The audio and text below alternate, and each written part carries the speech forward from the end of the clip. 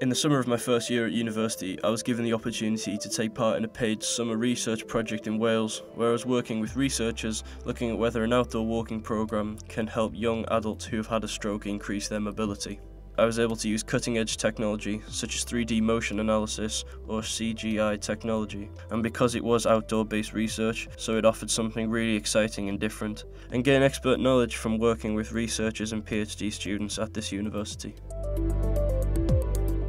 It's been fantastic working with students on my research projects, particularly Isaac, and it's provided him and others a key insight into what goes into planning and running a research study, but also making sure they are acknowledged for their work via co authors on research papers and conferences.